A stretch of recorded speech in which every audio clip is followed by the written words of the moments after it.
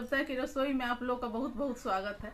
आज हम लोग बनाएँगे बिल्कुल नए तरीके से सोया सिक्सटी फाइव, वो भी तड़के डालकर। इसे बनाना बहुत ही आसान है और खाने में बहुत ही स्वादिष्ट लगती है। एक बहुत ही अच्छा इवनिंग स्नैक्स है। तो फिर देर किस बात की? चलिए चलते हैं कविता की रसोई में और बनाना शुरू करते हैं soya sixty five. Soya sixty five बनाने के लिए मैंने सौ ग्राम सोया चंक्स लिया है। तीन हरा मिर्च को बारीक काट लिया है। एक मुट्ठी कड़ी पत्ता को भी काट लिया है, थोड़ा सा धनिया पत्ता को काट लिया है, थोड़ा सा अदरक और थोड़ा सा लहसुन को इस दोनों को भी काट लिया है। थोड़ा सा हींग है थोड़ा सा काली राई है, नमक स्वादानुसार रखेंगे।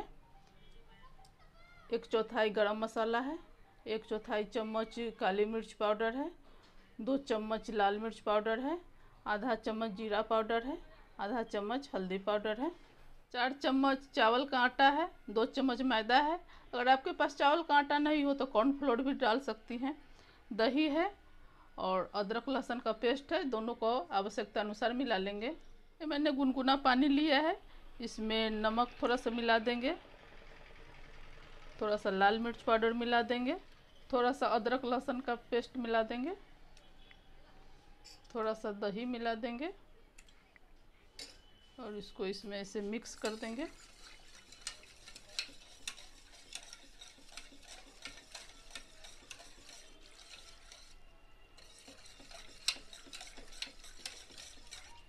और इसमें सोया चंक्स को डाल देंगे। और इसको पंद्रह मिनट के लिए इसमें छोड़ देंगे, ये इसमें सोख हो जाए।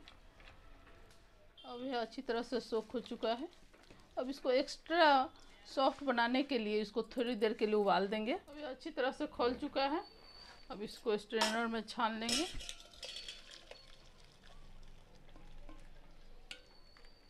अब इसमें मिला देंगे थोड़ा सा हींग, लाल मिर्च पाउडर। जो मैंने सारे मसाले रखे थे उसको इसमें मिला देंगे। दो चम्मच अदरक लहसुन का पेस्ट मिला देंगे। दो चम्मच दही मिला देंगे।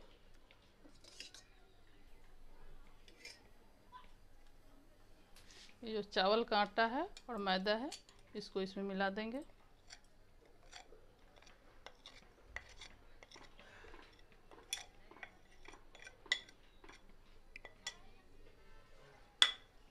इसको ऐसे हाथ से मिला देंगे।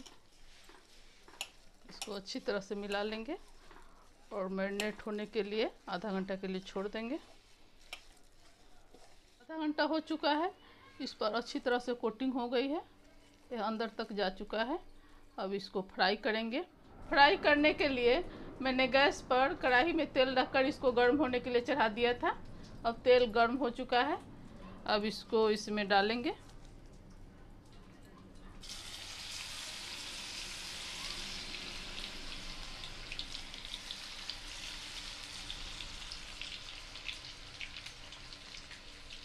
कुछ देर के लिए ऐसे ही छोड़ देंगे।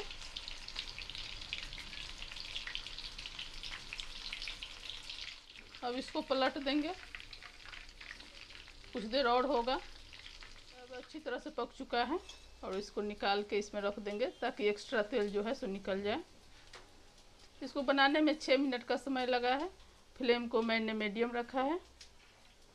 इसमें हल्दी आप नहीं भी डाल सकते हैं या डालिए भी तो एकदम थोड़ा सा डालिए। अब ये भी अच्छी तरह से हो चुका है। अब इसको निकाल लेंगे इसमें।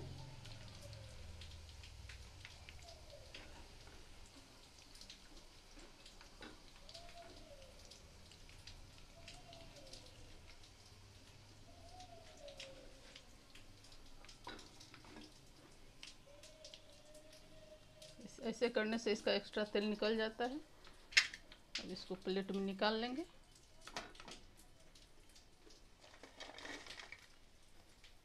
इसी तरह मैंने सारे सोया चंक्स को फ्राई कर लिया है। देखिए कितना क्रिस्पी बना है। देखिए, इसका आवाज़ आप सुन सकते हैं। अब इसको तड़का के लिए तैयार करेंगे। इसके लिए मैंने कढ़ाई को गैस पर चढ़ा दिया है। अब इसमें एक चम्मच काली राई डाल देंगे। थोड़ा सा तेल डाल देंगे। तेल ज़्यादा नहीं डालेंगे क्योंकि पहले से भी उसमें तेल में ही फ्राई हुआ है। राई को चटकने का इंतज़ार करेंगे। हरा मिर्च डाल देंगे। अब इसमें डाल देंगे सोया चंक।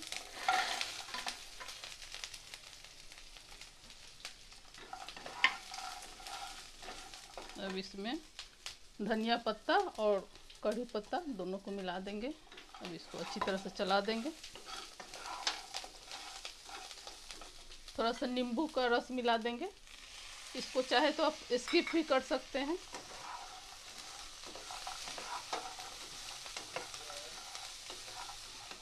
अब यह तैयार हो चुका है। अब इसको सर्व करने के लिए तैयार करेंगे। गैस को बंद कर देंगे। देखिए कितना अच्छा क्रिस्पी सोया सिक्सटी फाइव बनकर तैयार है। यह बहुत ही अच्छा इवनिंग स्नैक्स है। इसे आप अवश्य बनाइए।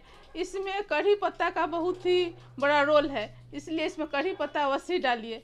अगर आपको मेरा ये वीडियो पसंद आए तो इसे कमेंट लाइक और शेयर अवश्य करें। साथ ही मेरे चैनल को सब्सक्राइब करना ना भूलें। अब हम लोग मिलते हैं अगले वीडियो में नए रेसिपी के साथ। तब तक के लिए take care thank you for watching my video